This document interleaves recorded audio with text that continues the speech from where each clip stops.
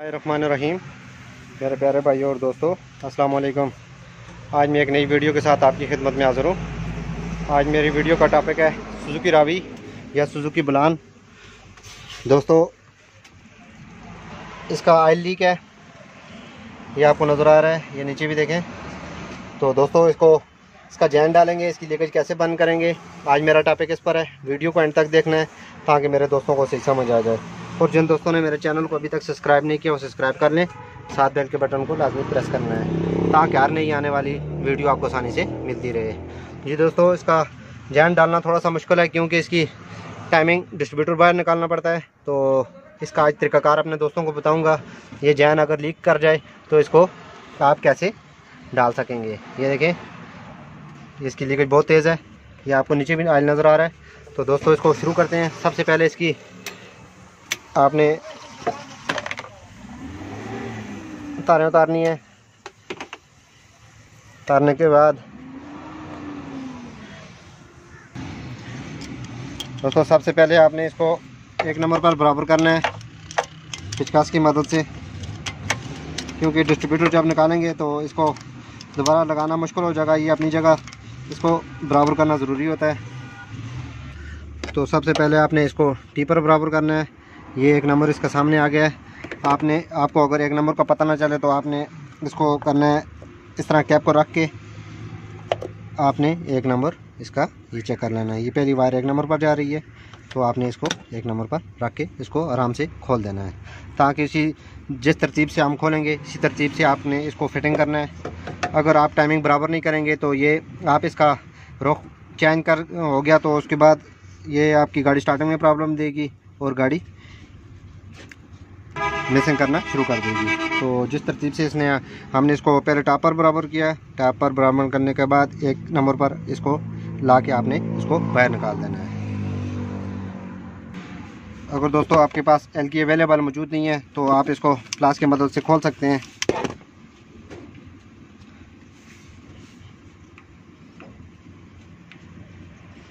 کیونکہ ویسے ٹائمنگ نکالیں گے تو یہ اپنی جگہ سے ہل جائے گی تو آپ کی گاڑی سٹارٹ نہیں ہوگی۔ بہت آسان طریقہ ہے۔ سب سے پہلے آپ نے اس کو برابر کرنا ہے۔ برابر کرنے کے بعد آپ نے اس کو آرام سے باہر نکال دینا ہے۔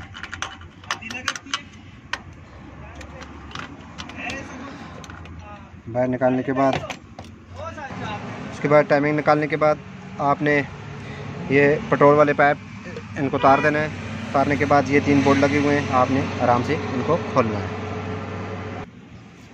تو دوستو، یہ فل پامپ کے دو بولٹ ہیں۔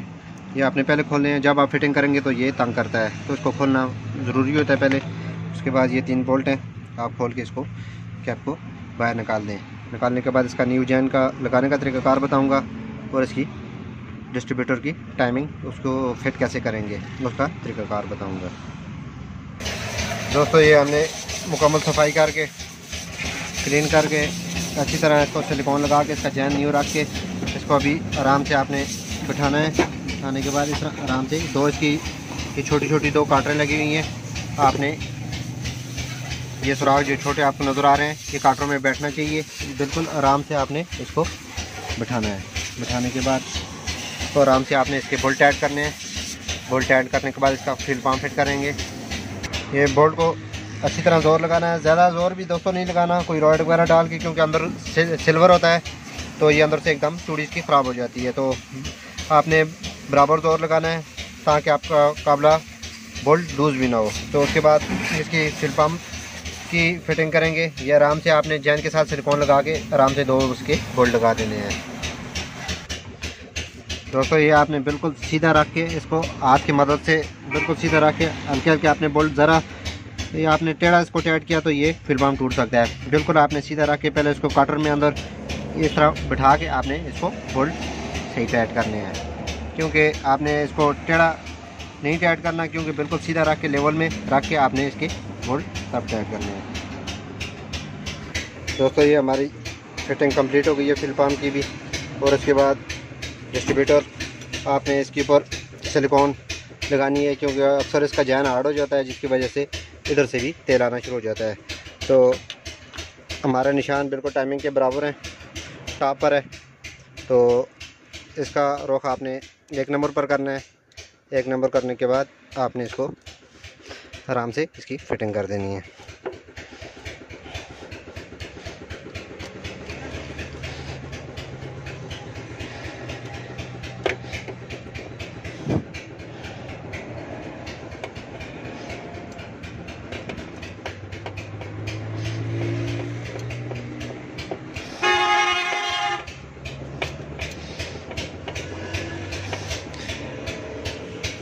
یہ دوستوں بالکل اپنی جگہ پر آ گیا ہے ایک نمبر اس کا آپ چیک کر سکتے ہیں۔ یہ دیکھیں اس کو اپنے نشان پر بالکل ایک نمبر پر کر کے آپ نے اس کو اپنی جگہ ڈال دینا ہے۔ یہ دیکھیں، یہ ایک نمبر پر۔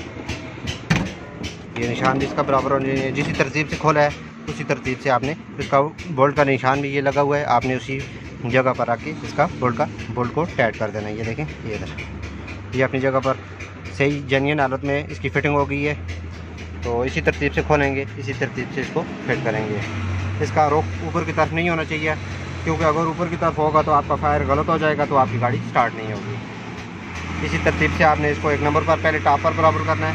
کرنے کے بعد اس کا ایک نمبر کر کے آپ نے اس کو آرام سے ڈال دینا ہے۔ اس کا رخ زیادہ الٹا نہیں ہونا چاہیے، بالکل سیدھ میں ہونا چاہیے۔ تو اس کے بعد دوستوں اس کا بولڈ لگا کے اس کو، وائر وغیرہ لگا کے اس کو سٹارٹ کرتے ہیں گاڑی کو، پھر اس کی لیپے چیک کریں گے۔ دیکھیں دوستوں ہماری فٹنگ کمپلیٹ ہو گئی ہے اب ہم گاڑی کو سٹارٹ کریں گے۔ سٹارٹ کریں گے گاڑی۔ دوستوں یہ دیکھیں، جس ترتیب سے آپ نے کھولا ہے، اسی ترتیب سے ہم نے اس کی فٹنگ کی ہے۔ بہت آسان طریقہ ہے۔ لیکن ڈسٹریبیوٹر جب آپ نکالیں گے تو آپ نے اس کا نشان برابر کرنا ہے۔ میں نے اس کے بعد دوستوں اس کو آپ نے پانچ دس منٹ اسٹارٹ رکھنا ہے۔ اس کے بعد اس کی آپ نے لیکیج چیک کرنی ہے۔ تو دوستوں ہر پر آپ کو ویڈیو ملتی رہیں گی۔ لائک اور شیئر لازمی کرنا ہے اور کمنٹ میں بتانا ہے کہ آپ کو ویڈیو کیسی لگی۔ اگلی ویڈیو تک مجھے اجازت دیجیے اللہ حافظ۔